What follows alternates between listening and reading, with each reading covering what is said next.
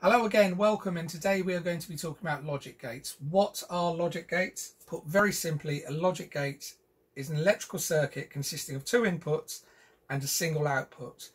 By comparing the conditions of the two inputs will determine the output, either on or off, or one or a zero.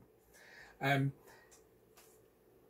logic gates are microscopic and there are probably millions of them in the device that you're watching this video on at the moment so you have to try to understand them conceptually so I've come up with this idea of using standard wall light switches and a bulb uh, to make them easier to understand in a concrete manner let me show you how I did it so for our first truth table, let's start with the AND gate. This is the symbol for the AND gate. Um, two inputs, A and B, and we are representing the output by the light bulb. So to begin with, with both switches in the off position, so we use a zero for off. The output is also off. So let's try switching on B. So that's A is in the off position, 0.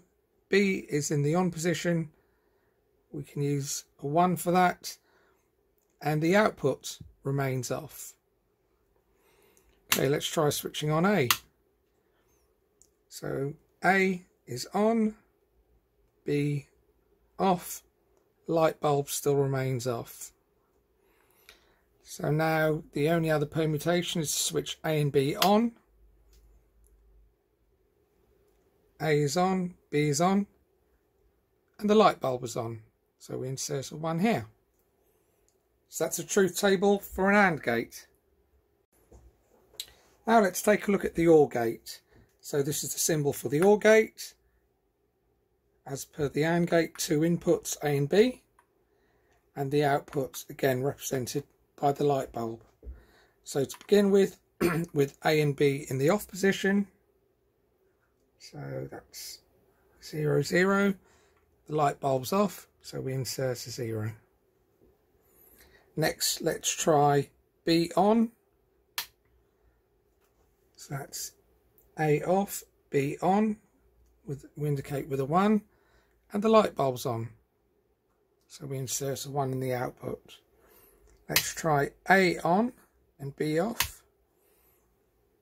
So again, that's on for A, off for B, light bulbs on. So we insert a 1 in the outputs. And the last permutation is A on and B on.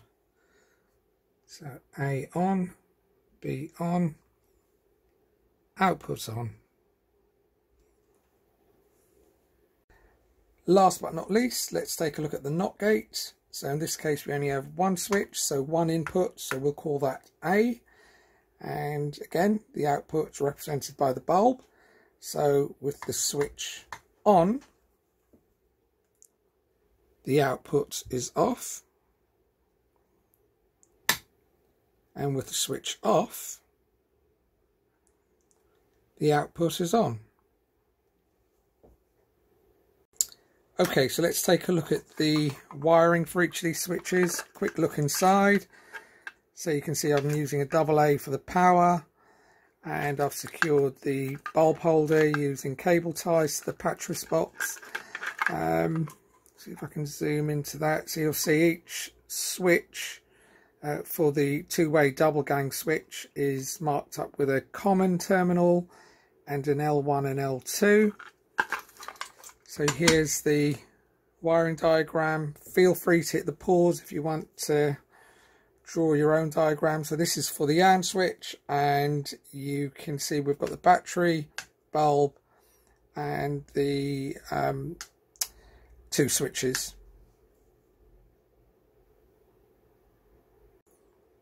And here's the wiring for the OR gate.